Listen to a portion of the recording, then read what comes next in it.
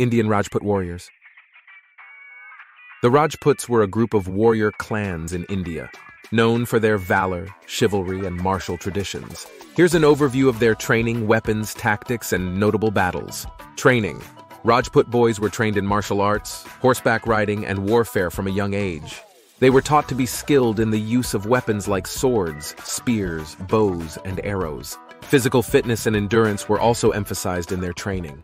Weapons Rajput warriors used a variety of weapons, including the khanda, straight sword, talwar, curved sword, spear, and chakram, throwing weapon. They also used shields for defense. The use of these weapons varied depending on the situation and the warrior's skill. Tactics Rajput warfare tactics were based on their code of honor and chivalry. They often preferred single combat and valorous acts over mass warfare. Battles Rajputs were involved in several battles throughout history. First Battle of Tarain, 1191. The Rajput king Prithviraj Chauhan defeated the invading Ghurid forces led by Muhammad Ghori. Siege of Chittorgarh, 1567-1568.